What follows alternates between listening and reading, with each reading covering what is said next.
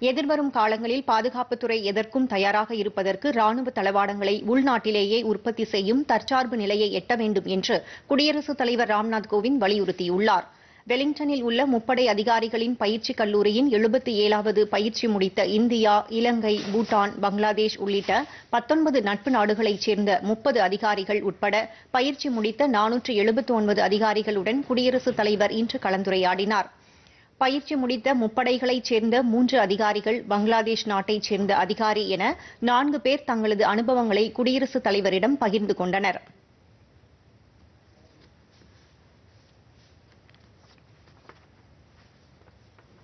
With the primary role of defending the sovereignty and territorial integrity of the nation, strong and well-trained armed forces are a deterrent to any potential adversary, thereby facilitating developmental activities and nation building without any hindrance. National security in the contemporary context goes beyond the narrower confines of internal security and external defense.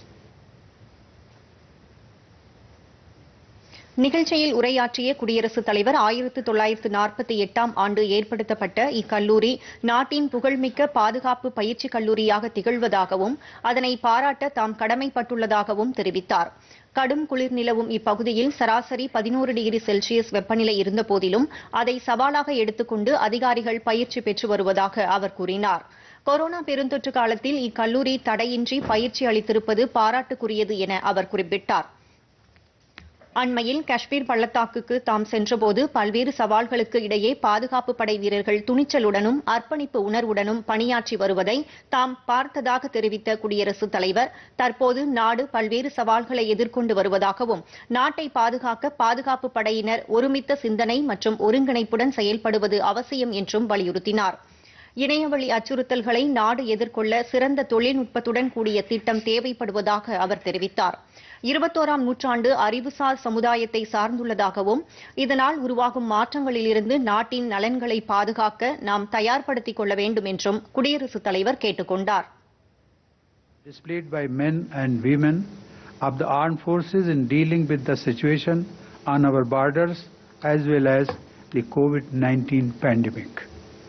Very recently, I had an opportunity to interact with our officers and soldiers in the Kashmir Valley. I felt very happy to observe their high morale and dedication to duty.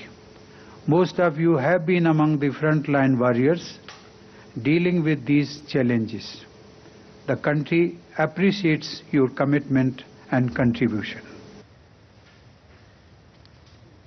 குடியரசுத் தலைவரின் துணைவியார் கவிதா கோவிந்த் ஆளுநர் பன்வாரிலால் புரோஹித் தொழில்துறை அமைச்சர் தங்கம் தென்னரசு மற்றும் முப்படை அதிகாரிகள் நிகழ்ச்சியில் கலந்து கொண்டனர்.